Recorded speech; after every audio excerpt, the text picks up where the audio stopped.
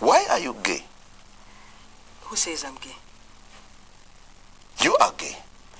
I spilled lipstick in your Valentino bag. Oh, you spilled lipstick in my Valentino white. Play ticker ticker. You want to hear a station for porn detected. Porno ringtone. Hot chick amateur girl No, calling no, sexy. no, no,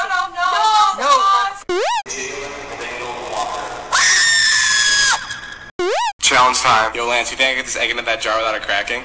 No. Guess you're right. Once I capture those chipmunks, I'll force them to sing for me, and then I'll be rich.